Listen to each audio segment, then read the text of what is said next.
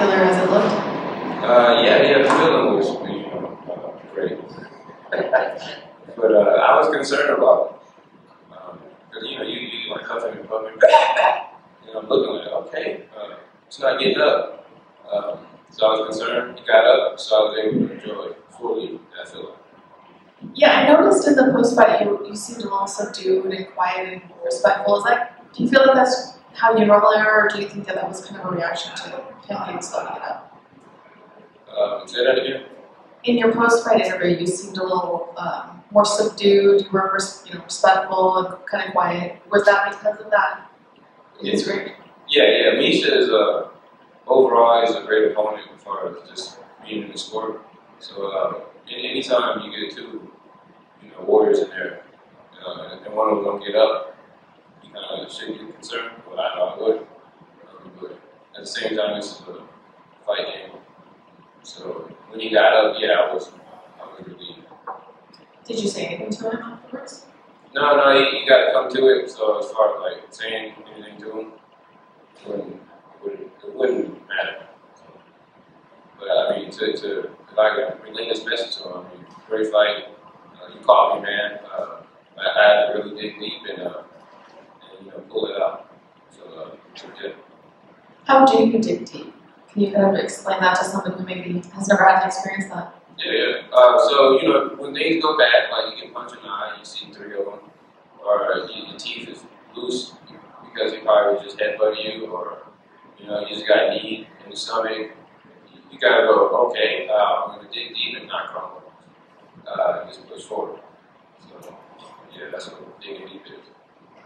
When you imagined that fight, is that how you, you know, kind of expected it to go, or do you have a different idea in your head of how it might play out? No, I knew it would go somewhat like that. Um, I thought he would main probably shoot for a single leg, but he did. He, he went more for body locks, and you know I'm getting out of those. Um, so as far as like him catching me, that was a surprise. But uh, overall, yeah, exactly like I. And I know you, in the cage you didn't have a name. Do you have a name now? I know sometimes you get this thing right after and go, oh, I should have said, Oh, a name. Yeah. Like, who's next?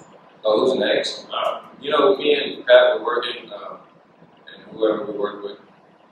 Um, uh, yeah, so when, when uh, they call, I'll answer. So it doesn't matter. Do you have a preference of when you fight next, or maybe where? and they're going out on the road a little bit more. Is there location you'd like to fight at? Yeah, anywhere in the United States of America. so, yeah. Why? Why just the United States? I, I, you know, I think it's, it's fun fighting here. Uh, the, the crowd is always mean, so I like to try to entertain them, meet people, and turn them nice. Thank you so much. I have to ask you about working with Pat. When you went over afterwards, you guys sort of congratulated and talked to each other and showed a lot of good emotion between your two of you. How what's it like working with Pat? Ah, man, the energy is phenomenal. Um, and uh, as far as just him and I understanding that, it's just liberating. It's freedom for me to be exactly what I, I want to be, um, regardless of how the fight may go out or play. To, to go in there and just be exactly me and be prepared for that, you know. How big of a part of that is the fight game, you think, to surround yourself with the right people that, that allow you to free yourself to get in there and do what you need to do? I think it's major. Uh, based on my experience, I think I think it's major. I think uh, energy is always important. Um, so me, I will, I will always want someone who's ready to you know go out with me. And, and uh, with that, it's like, hey, I'm ready to I'm ready to die for you. You're ready to die for me. So that's a relationship. We come to fight. When you talk about you were surprised he caught, he, he caught you, there was that nice moment. He caught you and then you threw a nice reaction back to him. I believe that's probably where he caught you in the eye. How uh, you said you saw like three. Did it look, when I'm looking at your eye now, it definitely looks sort of ready to bust a blood vessel, and, or did you see blurry for a while? And how soon after that did it sort of recover? Oh yeah, he busted me up, man. I've seen three of them the whole time. So uh, yeah, dig deep. Yeah, Aim for the one in the middle.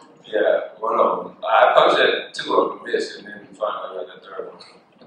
And it looked like there was a good pace. He did try to take you down, but uh, he was never able to actually sort of get a hold of you. It looked like that was maybe a reaction to the power and maybe the fear of the hands that you were throwing. Did you expect him that that was probably going to be the case, that once you threw some hands, he was probably going to try to move in and try to get you to the ground or get your hands stopped? Yeah, yeah, one hundred percent. Uh, as soon as I landed something, he was gonna clinch me, grab me. But I think he was surprised based on me. Uh, I may not look strong, right? Well, and, and you look at your record, it looks like you always have some place to be after your fights because you always try to get out of there really quick. Here's another one that happened like this. Was part of the game plan to go out there and try to push the pace really quickly and get that finish? I mean, do you think about like, oh, I need to get this finish in the first, or is it just a matter of you want to swarm your opponent and sort of just take over and not give them a chance to get established? Yeah, yeah, never, never rush or think about it. Um, I, I just have an instinct to, to fight. Um, and wherever that goes, it goes. Just make sure I'm in good shape. Uh, yeah, that's that's me, one hundred percent. Congrats on the victory. Thank you.